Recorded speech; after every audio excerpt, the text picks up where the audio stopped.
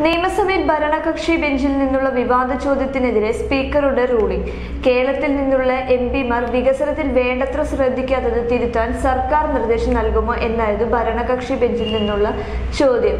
ചോദ്യം അംഗീകരിച്ച പട്ടികയിൽ വന്നതാണ് വിവാദമായത്. പരാമർശം നിയമസഭാ ചോദ്യത്തിൽ വന്നത് അപാകതയാണ്. ആവർത്തിക്കരുത് എന്ന് മുന്നറിയിപ്പ് നൽകിയിട്ടുണ്ട്. പിഴവ് വന്നത് അംഗീകരിക്കാനാവില്ല.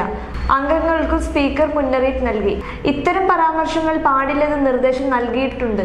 എന്നിട്ടും ആവർത്തിച്ചു. ഇതിൽ അസന്തുഷ്ടി അറിയിക്കുന്നു എന്നും സ്പീക്കർ പറഞ്ഞു.